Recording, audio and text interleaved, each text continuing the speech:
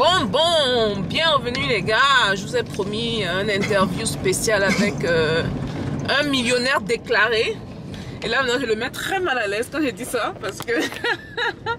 Mais il faut qu'on soit décomplexé, Franck. Qu'est-ce que tu penses de ça? Il faut qu'on soit décomplexé. Non, ça me met pas mal à l'aise. C'est juste qu'elle me fait rire parce que c'est sûr qu'il y en a peut-être qui me connaissent, qui vont voir la vidéo à travers euh, ta chaîne. Il, a, il fait le malin. Il fait le non. Quel malin Quel malin Moi, je disais à Franck, hein, il faut faire la différence entre être euh, arrogant et savoir se vendre. Tant que vous ne crachez pas sur les gens et vous n'insultez pas, vous n'avez pas de, de, trucs malsains que vous dites par rapport à d'autres personnes et que vous dites ce que vous êtes et ce que vous avez accompli, il n'y a rien de mal à ça. Et on devrait même l'être plus parce qu'il faut motiver la jeunesse. Il faut motiver la jeunesse à chercher l'argent et de manière propre. Bref, on a Franck ici aujourd'hui. Euh, vous l'avez vu sûrement dans une des vidéos qui est parue il y a quelques jours ou la semaine passée sur, sur la chaîne. Euh, on va apprendre un peu plus de lui.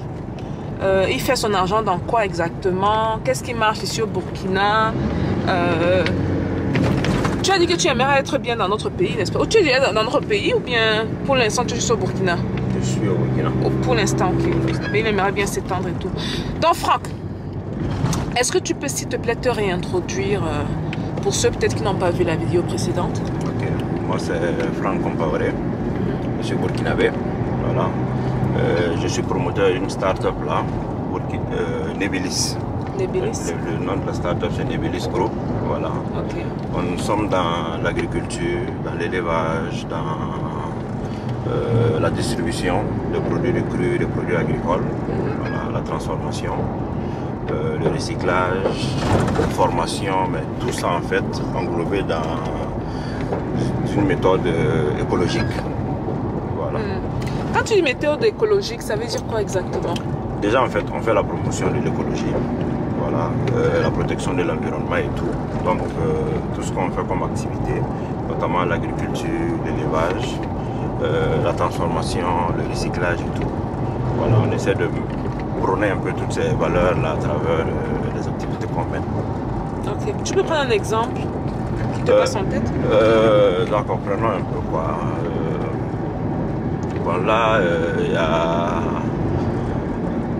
une structure que je connais euh, en Côte d'Ivoire, voilà, qui essaie de promouvoir en fait la culture hors sol. Voilà, et la culture hors sol, en fait, les, substrats qu'ils utilisent pour pouvoir euh, promouvoir cette culture-là, ce sont les fibres de coco. Les fibres qui entre la, entre la noix et la peau, là. Voilà, ils utilisent ça en remplacement de la terre, voilà, et on peut cultiver dedans. Voilà, ce sont des trucs comme ça un peu, en fait. Nous, on essaie de faire la promotion un peu de ces produits-là, voilà. Et actuellement, je suis sur un projet, mais là, je ne peux pas parler du projet là avant que ça naisse. Voilà. Ok, je. Voilà, c'est de pouvoir mettre, en- pouvoir mettre euh, sur place, euh, essayer de valoriser un peu euh, les tiges de banane. Parce qu'ici au Burkina, les tiges de banane, en fait, quand on finit de produire de la banane, les tiges, on les jette. Voilà, pourtant, en fait, ces tiges-là, on peut utiliser ces tiges-là pour faire vraiment beaucoup, beaucoup, beaucoup de choses. Hmm. Et le projet, en fait, c'est par rapport à ça. Oui, j'ai cru voir euh, des informations par rapport à ça passer quelque part sur Internet, mais j'aurais hâte de faire un suivi avec toi pour que tu, euh, tu nous informes un peu plus de, de ce projet-là. de Ce projet-là. Maintenant, j'ai une question un peu... euh, hmm. Je sais pas comment dire. Bon, un peu profane, disons. Ok. Tu as dit que je pense que dans, nos- dans une de nos conversations dans le passé, soit c'était aujourd'hui, soit c'était il y a des jours, plusieurs jours en arrière, que tu es également dans la transformation, Si, si. donc dans l'industrie De manière euh, semi-automatique. semi-automatique. Bon, là, tu viens, de, Industrielle. tu viens de répondre à la question. Euh, Qu'est-ce que tu penses de l'industrialisation et euh, de nos tendances à souvent imiter à tout prix ce que l'occidental fait ou ce que l'asiatique fait et à vouloir reproduire ceci en Afrique. Bon, je pense que euh, déjà notre, euh, comment, je, comment je pourrais dire ça? Euh, ce- qui nous caractérise en fait c'est déjà en fait nos valeurs nos cultures et tout. Voilà. Donc, facilement, si on veut se faire vendre à l'extérieur, il faudrait qu'on essaie de mettre un peu ces atouts là-dedans. Les Chinois, euh, ils ont, même quand tu regardes même la plupart du temps dans ce qu'ils ils industrialisent là, tu ressens vraiment un peu leur culture de là. Mhm. Les Européens également. Voilà. Comment ça, tu ressens leur culture? Euh, je prends un exemple simple. euh, Tu vas voir en fait les Chinois, ils, ils exportent facilement leurs baguettes, euh, le, le style de plat dans lequel ils, dans, lequel en fait ils mangent, même leur gastronomie. Parce qu'ici on voit aujourd'hui, on voit beaucoup de nouilles chinoises un peu partout, toutes les choses comme ça qu'on fait cuire en 2-3 minutes là. Voilà. Euh, le truc c'est que genre, nous, on n'essaie pas de trouver ce qui est propre à nous avant de pouvoir euh, peut-être passer au mode industriel. Voilà. On veut juste, on veut, on veut la plupart du temps copier textuellement ce qu'ils font là-bas. Voilà, parce que je me dis en fait, là, quand on prend même un exemple simple sur euh, certains de nos, de nos locaux, ici on a ce qu'on appelle le riz sumbala. Voilà, le riz sumbala c'est fait à base euh, de, des graines, le sumbala en fait est fait à base des graines de néré. Voilà, on prend ça devient une épice qu'on met dans le riz et tout, et ça c'est bon. Euh, là j'ai vu une, une structure ici qui, qui fait ça en pré-cuit. Voilà. Je me dis en fait des initiatives comme ça, on essaie de- d'industrialiser ça, ça va vraiment marcher parce que ça met en avant déjà une de nos cultures et aussi genre, en fait ça permet de pouvoir produire en grande quantité et aussi essayer de desservir un peu tout le monde en fait. Mais est-ce que, laisse-moi un peu pousser la réflexion. Est-ce que le problème de l'industrialisation, c'est le, le processus et la méthodologie, ou bien c'est ce qu'on se transforme et la, la résultante? Parce que moi, je suis vraiment plus dans le processus de transformation, les machineries ou euh, Ok, ok, ok. Moi j'étais plus en fait dans le résultat en fait. dans les résultats. Voilà. ok. Sinon, euh, moi personnellement, ce que je pense de l'industrialisation, euh, ça forcément, en fait, ça sa place partout. Parce que quoi qu'on dise, avec l'explosion démographique qui est là actuellement, là, Mhm. on ne peut pas satisfaire tout le monde sans passer par l'industrialisation. Comment ça? Ça, c'est un truc que j'entends tout le temps. Si, si, on ne peut, pas satisfaire- on peut pas satisfaire tout le monde. Je te prends un exemple simple en fonction, avec moi, mon domaine. Mhm. Euh, produire bio, c'est bien. Consommer bio, c'est bien. Mhm. Mais on ne peut pas nourrir toute la population avec du bio. Pourquoi? Parce que déjà le processus est très long. Le processus de, comment on appelle ça encore, de production avec le bio, il est plus long que le processus avec euh, les, de manière conventionnelle. Ok, bon, moi j'ai une question donc, par rapport à ça. Ok. Est-ce que c'est parce qu'on veut à tout prix nourrir la population avec un produit précis qu'on ne peut pas nourrir toute la population ou on ne peut pas juste nourrir toute la population, peu importe la diversité des produits? Je ne comprends pas la question, je peux me répéter. Ok. Donc, est-ce que c'est parce que, par exemple, au niveau des poulets, parce que ici au Burkina, j'ai vu qu'il y a une grosse demande en poulet, c'est ridicule. Mhm. C'est ridicule. Au niveau des poulets, c'est parce qu'on ne peut pas nourrir toute la population avec le, le poulet ça veut dire que la population va mourir de faim parce qu'il y a d'autres alternatives. Exactement. Donc, est-ce que le problème, c'est vraiment être capable de ne pas nourrir la population ou c'est être, capable de ne pas nourrir la population avec un produit bien précis? Bon, souvent, souvent ça dépend de. Comment, comment je dirais en fait Ça dépend de euh, la demande du marché. Mhm. Voilà, ça dépend de la demande du marché. Tu as parlé de poulet. Euh, ici, le poulet est beaucoup demandé. Mais avec le poulet local, on ne peut pas nourrir la population. Et j'aime vos poulets. Ils sont maigres comme tout. Vous pouvez sentir qu'ils sont organiques, quoi. C'est ça, ils sont maigres et puis ils ont vraiment beaucoup de Ouh, très Donc bon. euh, c'est un peu ça. On ne peut pas nourrir la, toute la on peut pas nourrir tous ceux qui veulent manger du poulet avec nos poulets locaux. Voilà. Donc forcément, il faut qu'on passe à l'intensif qui est le poulet de chair, le coquelet et tout. Mais ça, ça n'a pas, des, ça n'a pas des, des- des effets. euh, Bien sûr, ça a des effets, ça, ça a des effets négatifs. Mais bon, euh, comme on dit en fait, qu'est-ce qui n'a qu'est-ce qui n'a pas d'effet secondaire? Euh, Franck, il faut pas passer là-bas, pardon. je peux donner beaucoup de choses qui n'ont pas. Surtout les plantes là. Les... Moi, je suis d'une région du sud du Cameroun. On mange beaucoup de, de- de légumes. Mhm. Et je- à ce que je sache, les, les légumes n'ont pas vraiment d'effet né- négatif. Oui, non, les légumes n'ont pas d'effet négatif. Ça, c'est genre, en fait, quand tu suis la bonne posologie, tout va bien. c'est du genre, euh, comment on appelle ça encore Si tu passes toute ta vie à manger que des tomates, tomates, tomates, tomates, tomates, tomates, c'est sûr qu'il y aurait une certaine carence en quelque chose. Oui, mais il y a une diversité justement dans les légumes. Voilà. En tout cas, moi, mes arrière-grands-parents, c'est tout ce qu'ils ont mangé. Mm. Ils sont morts à plus de 100 Ça, ans, pas de maladie et tout, Si, donc si. j'imagine que... C'est juste que bon, euh, je dirais que par rapport à l'industrialisation là, c'est un peu comme ce, un peu comme ce que j'ai dit au, au début. hein. Je pense que chaque chose a sa place. Mais comme tu l'as dit aussi, euh, en fait, souvent le problème se pose parce que on pense à un seul type d'alimentation ou un seul type genre euh, de produit, histoire de vouloir satisfaire un peu tout le monde. On- On n'a pas l'audace de vouloir essayer de nouvelles choses. De diversifier. Voilà, diversifier en fait les, les nouvelles choses. Je pense que c'est euh, le problème se pose un peu à ce niveau. Et moi, je me dis aussi, quand on parle beaucoup d'autosuffisance, la nourriture bio ne peut pas suffire à tout le monde. On ne peut pas nourrir toute la population avec du pur bio. Pourquoi ne pas, et bon, ça, c'est nous taper sur nous, hein, nous, nous entrepreneurs, là, je vous le dis déjà. Mais pourquoi ne pas justement euh, faire la promotion de l'élevage à domicile? Que les gens eux-mêmes fassent leur élevage. Au lieu de. Bon, je, je, je vois que Franck n'aime pas trop ça. Ça veut dire, ça, veut- ça veut dire moins d'argent pour lui. Non, non, moi-même, moi-même je, suis, je suis dans la promotion de, jardin- de jardin- à domicile. Ok, tu vois. Et si, si vraiment chacun dans la population, chaque Africain Chacun produit ce qu'il mange. produit ce qu'il mange, problème résolu. C'est ça.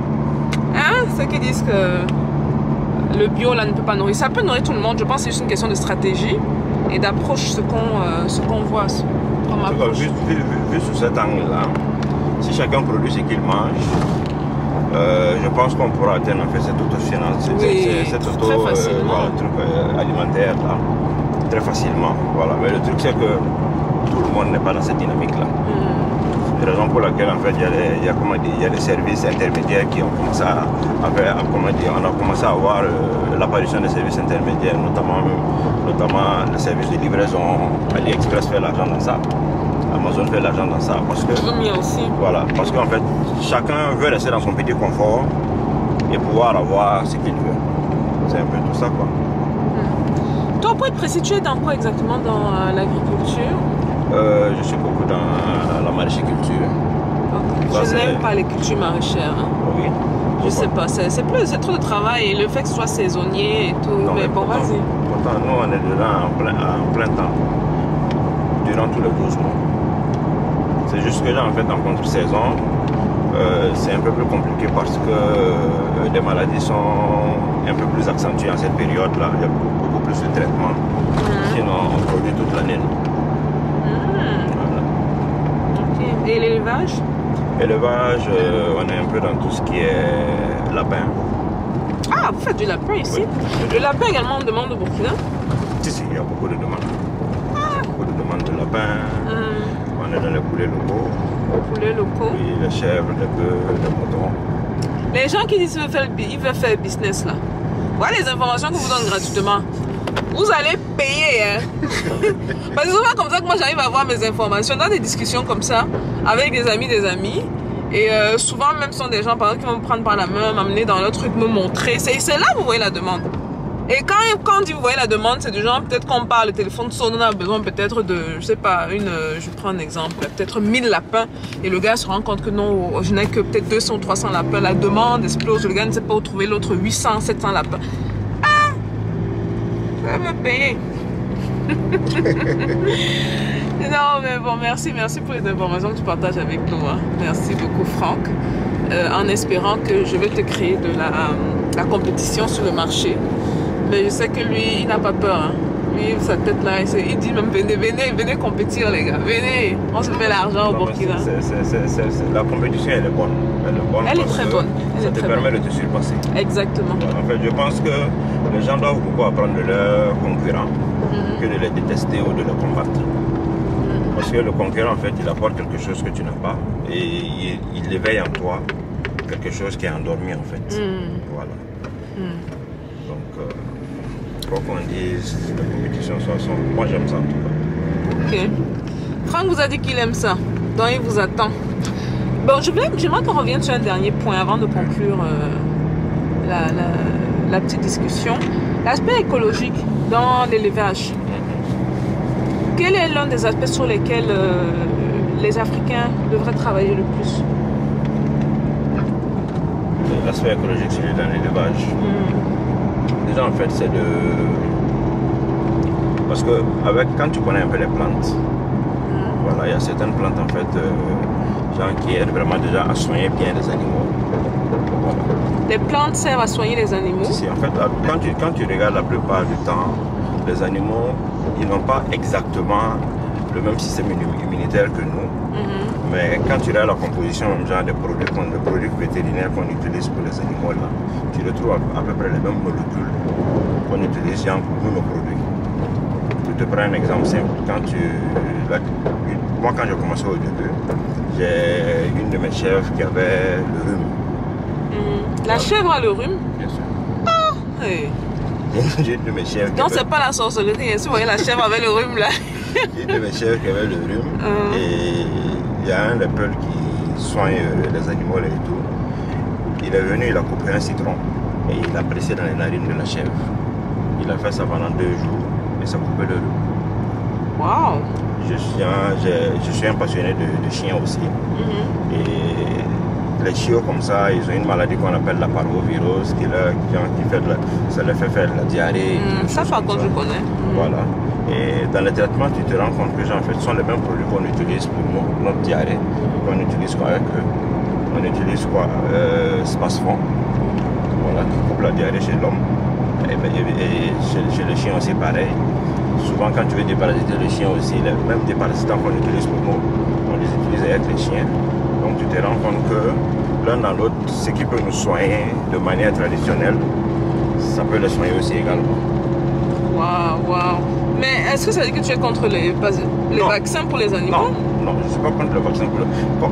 C'est comme, c'est comme, en fait, il ne faut pas euh, forcément en fait tout mettre dans ce, dans ce volet-là. Mhm. Voilà, parce que en fait, nous aussi, genre, le, le volet écologique qu'on met en avant là, c'est de pouvoir montrer que avec euh, certains trucs de la nature, voilà, on peut genre utiliser pour atténuer genre, les traitements qu'on fait sur les animaux.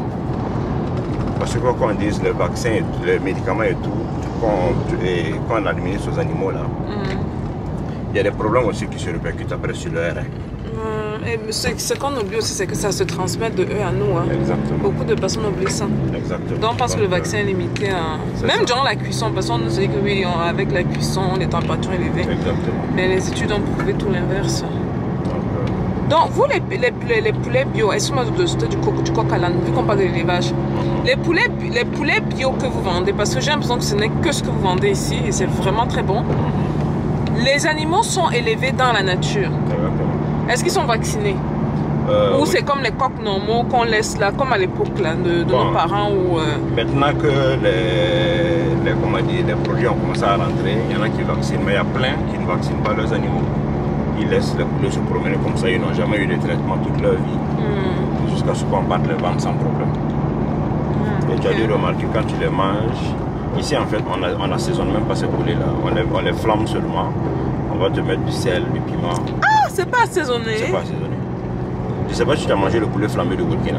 Oui, oui, j'ai mangé le poulet à l'ail, le poulet Ouais, flambé. le, poulet, le poulet à l'ail, il est assaisonné à l'ail. Mais le poulet flambé simple, il n'est pas assaisonné. Et j'ai beaucoup aimé par rapport à l'ail. Parce que les filles aimaient le poulet à l'ail, moi j'ai beaucoup aimé le Voilà, poulet flambé. Il n'est pas, il n'est pas assaisonné, c'est juste du sel, de l'huile, du piment. Hmm, Et quand tu manges, ça a vraiment tout le goût à l'intérieur. Waouh. Comparativement à ce que, au poulet. Au poulet euh, Les gens qui, sel. le- qui cherchent les poulets, les poulets naturels là, je pense que de tous les pays que j'ai fait, le Burkina reste euh, devient, reste devient le number one. Parce que la première fois que j'ai vu le poulet, il dit, mais il est maigre, vous ne nourrissez pas. C'est quand le, le serveur dit c'est du poulet bio. J'ai dit ah, now you understand, now you understand. Tout ce qui est bio prend du temps. Ça. Ça prend du temps, mais ça vaut la peine Exactement. pour la santé et tout. Et euh, ça vient avec son prix. Exactement. Il Ça est, plus cher, il est plus cher que le poulet de chair. La santé n'a pas de prix. Il est plus cher que le poulet de chair. Bon, un dernier mot là pour les entrepreneurs. Euh, Que ce soit africain, que ce soit de la diaspora, que ce soit. euh, fait, déjà, ce que je veux dire, c'est de croire déjà en ce que vous faites. Voilà. Et même si quelqu'un d'autre est dans le même domaine, ça n'empêche pas le fait de vouloir se lancer dans ce que vous voulez faire. Voilà. Parce que, comme j'ai dit, en fait, la concurrence ne doit pas stopper euh, la créativité de tout un chacun.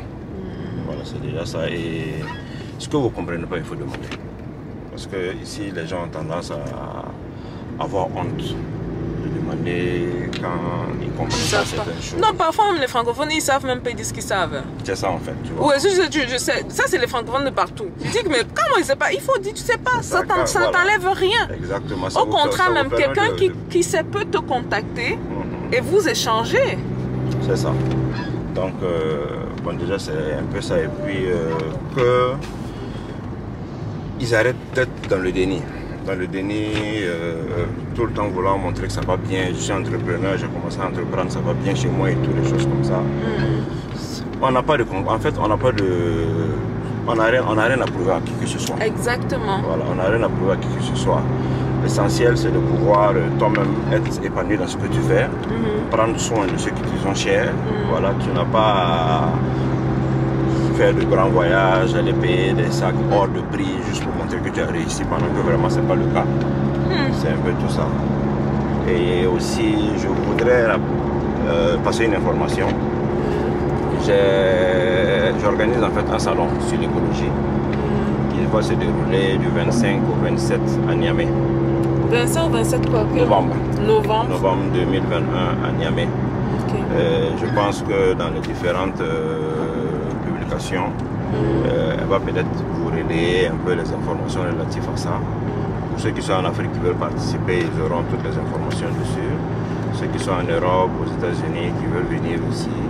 Voilà, si euh, les restrictions du Covid là, arrivent à être atteignées. Ah, ce sera atteigné d'ici novembre. Je vais mettre les informations sous, euh, sous la barre euh, des commentaires. Voilà. Donc prenez le temps de regarder. Avant ça, tu m'as parlé, tu parlais d'un événement, moi qui m'intéressait en mars ici, Euh, c'est- sur l'entrepreneuriat. Oui. On est, on est en train de mettre en place un événement sur euh, l'entrepreneur africain. Voilà, mais bon, la charité bien ordonnée commence par soi-même. On va commencer au Burkina. C'est un salon qui sera international. Voilà, c'est de mettre en avant en fait euh, les entrepreneurs locaux. Voilà, qu'au moins euh, ils puissent avoir des chances de pouvoir avoir certains, certains financements de certains bons bailleurs de fonds, certains investisseurs et tout. Voilà. Hmm, ok, super. Ben, merci beaucoup pour ton temps, Franck. Merci. Très apprécié. Merci à vous. Bon, nous on continue euh, la balade. On arrivait même là-bas. J'ai vu Banfora justement. Donc nous on va aller un peu s'amuser. Hum, hum. Je veux prendre des, euh, la vue du drone. J'ai mon bébé ici comme d'habitude. Je l'ai amené avec moi. Je vais prendre la vue. Je peux vous balancer certaines images après, après cette vidéo-ci. Et, euh, et donc c'est ça les gars. On est bien au Burkina Faso qui est, euh, si je me trompe pas, le huitième pays en Afrique que je vous amène avec la petite caméra en un an. Ça, c'est du jamais vu, les gars, et je suis très contente que ce soit du jamais vu. C'est également pour ouvrir les esprits des gens et que les gens réalisent que s'il y a une sœur qui le fait, je peux également le faire. Voilà un peu tout la famille. Je vous dis à la prochaine vidéo et euh, restez accrochés pour les images qui vont suivre. Peace out.